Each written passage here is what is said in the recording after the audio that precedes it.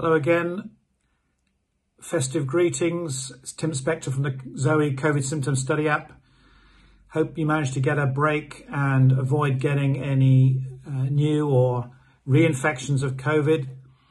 Um, our predictions two weeks ago of the numbers at Christmas were pretty accurate, saying that about 1 in 40 to 1 in 50 people in Wales and a bit less than that in London would be affected by now, and that seems to be the case and they've been really the ones driving the uh, increase in, in daily cases above 52,000 uh, and give us an R value above 1, about 1.2 across the country.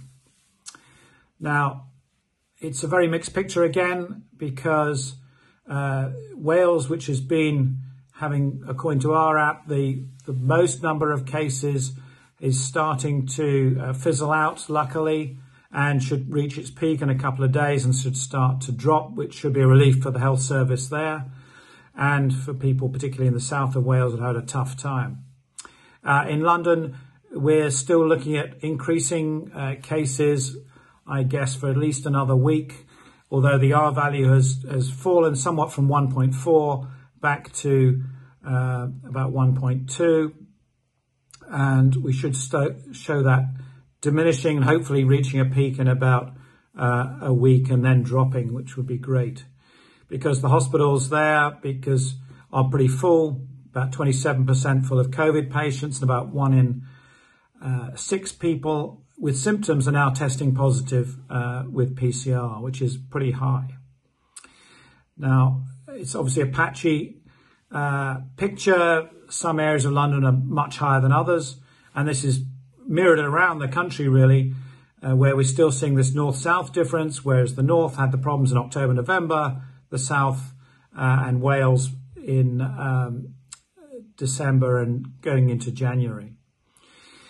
Levels in the other, rest of the country are not too bad. Um, the s- south is showing uh, increases, but nothing dramatic, and the uh, Midlands and the north of England are going up a little bit, but not dramatically. And I don't expect those to, to really peak and they should start to peter out soon.